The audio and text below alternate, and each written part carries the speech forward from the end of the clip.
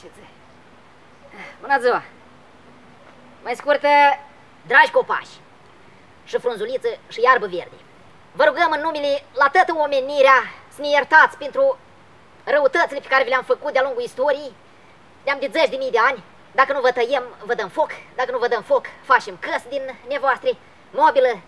Noi suntem o specie tare dăunătoare. Și în numele la toată omenirea, mă rungel la nevoastre.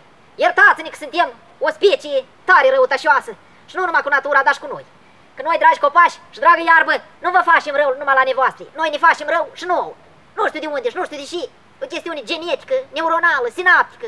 Ne-am făcut o tribună. Și m-am gândit că măcar din când în când să vin să mă adresez la nevoastră, că nimeni nu grăiește cu nevoastră. Nimeni, nimeni, nimeni. Și cât vă taie și vă nistojește așa, pur și simplu, ca să fac foc în sobă, de să ne iertați. Pe de o parte, nici nu găsim alte soluții, dragă pădure, că dacă ar fi fost niște, știu eu, soluții alternative așa, este gazul și drept.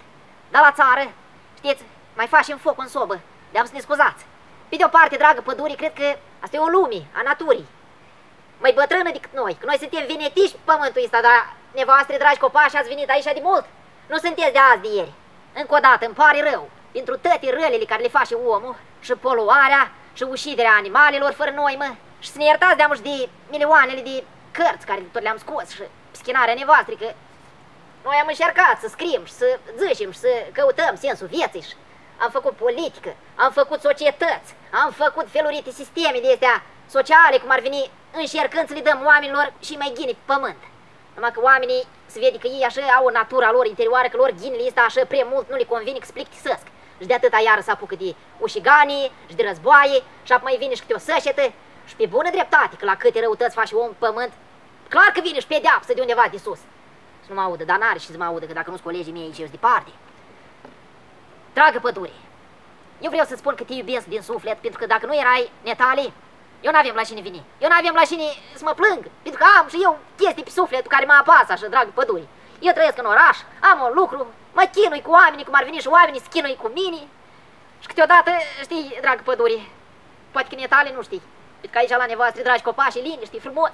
Mai cânt o pasăre, dar la noi și numai motoare și fabrici și zavoade. Noi avem o datorie în fața copașilor, în fața florilor, în fața pădurilor și a munților și a dealurilor. Să ne rugăm la fulgeri să nu ne pocnească așa. Da, noi nu rămânem în urmă, ne organizăm singuri papara între noi. Că suntem așa, o specie de asta, să mă ierte copașii, câți de față. Și nu vreau să grăiesc urât despre oameni. Poate că copașii pe la urmă ne iubesc, mai știți? Ha, dragi copași, dacă are cineva glas, ha?